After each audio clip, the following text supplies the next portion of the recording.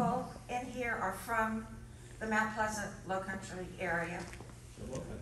Oh, cool, right. You're about to meet some relatives. Okey dokey, there. Okay, so, uh, am I clicking, are you clicking? Next.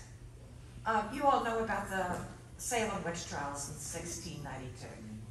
Well, it was a ridiculous time, and it really basically started on a bunch of prepubescent girls who went bonkers, making up all these imaginary stories about people and calling them witches. Basically, what it really was, was that they were a whole lot of people getting even. It was land disputes, political disputes, religious disputes, and it basically, they fixed it eventually so that all you had to do was say, you're a witch. I wonder how that rhymes. Anyway. I was hoping it would.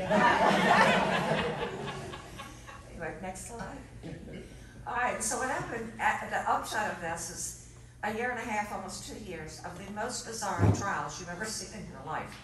This is what they're doing. They, they were arguing spectral evidence. That meant that all I have to say is that you appeared to me in a dream or in a vision. And that meant that you were a ghost. I mean, uh, uh, not a ghost, but a, a witch.